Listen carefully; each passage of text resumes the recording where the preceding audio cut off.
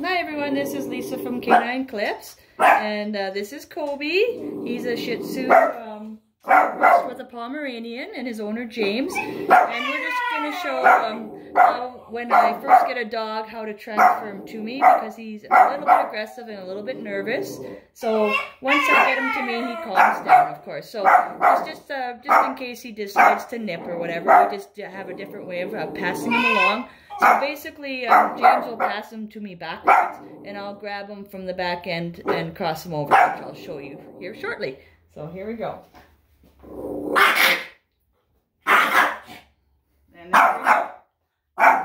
Yeah. So he's a nervous dog, but uh, this is just calm his nerves a little bit. So. And once James leaves, he does calm down a little bit. He is a nervous little guy, so um, I just try to do that so that... Um, knows that James wants him to be with me and I can get started. So hopefully that helps. And um, please subscribe to my channel if you'd like to see other little tips that I've learned along the years. And um, um, have a great day. Thank you.